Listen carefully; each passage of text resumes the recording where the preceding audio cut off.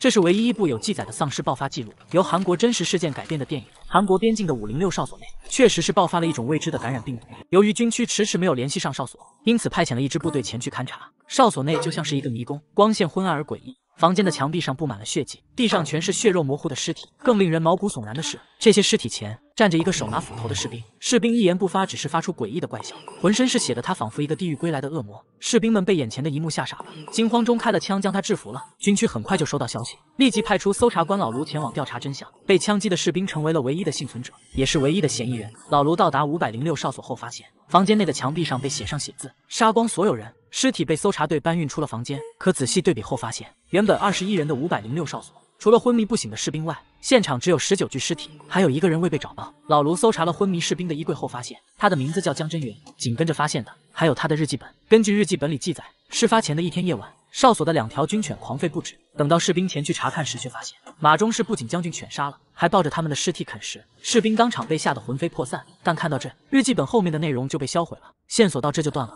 但很快。手下就在仓库里发现了失踪的另一个人，此人自称是五零六哨所的队长柳宗卫。可无论老卢问他什么，他都宁死不肯将真相说出来，还趁着没人注意，将江真源的日记本给撕毁了，似乎是害怕事情的真相被人发现。老卢从他的嘴里问不出任何线索，只能将他送回了总部。好在助手此时也有所发现，他找到了江真源的一段录像，视频中江真源眼神凶狠，还说要杀掉哨所内的每一个人。这让事情的真相变得更加扑朔迷离。随后，他们又在柳中尉的日记本中发现了新情况：几天前，马中士带着两名士兵在森林里执行任务时失踪了。虽然最终几人都回来了，但他们却无缘无故生病了。在此之后，几人的行为开始变得异常诡异。马中士突然口吐黄液，眼圈发黑，目光呆滞，犹如僵尸。而柳中尉并没有将哨所的情况上报部队。恰巧这一幕被江真源看到了。正当老卢和助手为到底发生了什么事而感到疑惑的时候，撤离的搜查队又回来了。原来是山体滑坡，道路被堵。只是才刚回到哨所，江真源就不治身亡了。调查真相再次停滞不前，而一同回来的柳中尉更是宁愿撞死也不愿下车，恳求老卢赶紧带自己离开这，似乎这里有什么恐怖的东西。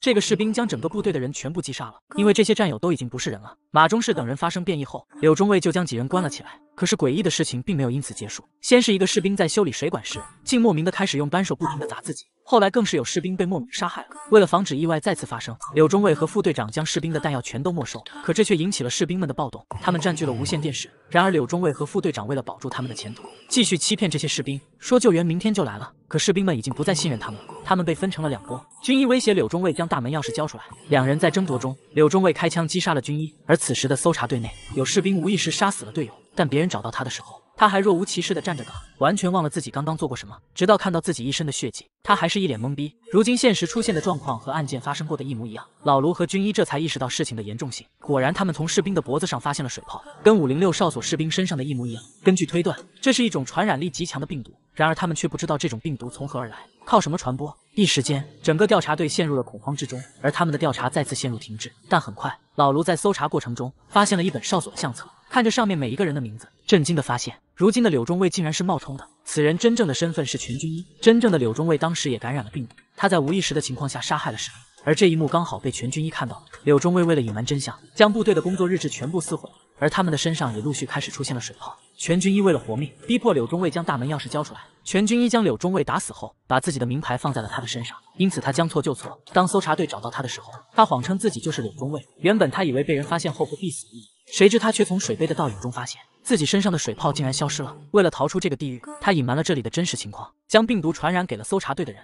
五零六哨所内出现了一种神秘病毒，短短几个小时内，整个搜查队全部被感染，每个人的身上都长出了密密麻麻的水泡，更有人出现了无意识杀人的行为。发病过程中，这些水泡还会消失一段时间，最后便会变成狂躁暴力的怪物。而这一切，全都是因为一个军医的自私自利。知道自己的身份暴露后，全军医准备偷偷离开哨所。可却被看守的士兵发现了。全军一看到士兵的身上已经出现水泡，便直接将他勒死了。谁知这时士兵竟发生了变异。全军一本想开枪打死他，谁知枪里根本没有子弹，他只好拔出匕首将士兵钉在了地上。得知真相的老卢立即追了出来，结果就看到全军一开着车碾压士兵的画面。谁知这个士兵都被碾成两截了，竟还挣扎着拔出刀扎在了一旁的士兵脚上。看到已经彻底变异的士兵，老卢只好掏出枪将他击毙了。而与此同时，搜查队内也开始出现了相同症状。军医将他们分成了两队，未被感染的站在右边，被感染了的站在左边，并打算收缴感染者的武器。士兵们害怕自己被抛弃，拒不交出枪械，双方立即发生了争执。不知是谁先开了枪，一阵枪声过后，除了几名军官，未被感染的人全被击杀了。被感染者拿着自己断掉的胳膊。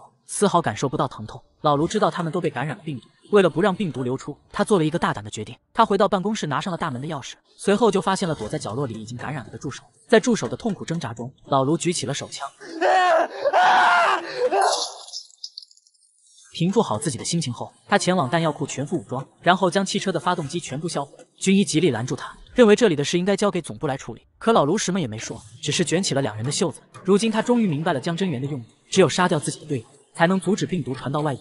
他将罪魁祸首全军一击杀了，随后将哨所的大门全部锁死，紧接着又将汽油倒满了所有通道。被感染的士兵们意识到了老卢的意图，他们将老卢围堵在了厕所内，想要杀了他，拿到钥匙逃出去。一时间枪声四起，即使老卢做了赴死的准备，可始终是寡不敌众。在他的奋力反抗下，仅存的士兵将他打死了。他拿着大门的钥匙，一瘸一拐的准备离开着，可就在他打开大门的一瞬间，老卢早已准备好的炸弹被引爆。整个哨所瞬间被大火吞没，爆炸声过后，所有的真相和病毒都被掩埋在了地里。而人们唯一能知道的是，在那台录像机里，江真源并未成功传出去的真相。他希望看到视频的人，如果发现有任何的幸存者，立即杀了他们。而他亦是忍着心痛，将昔日的战友们全部杀害了。可最终依旧没能敌得过人性的贪婪自私。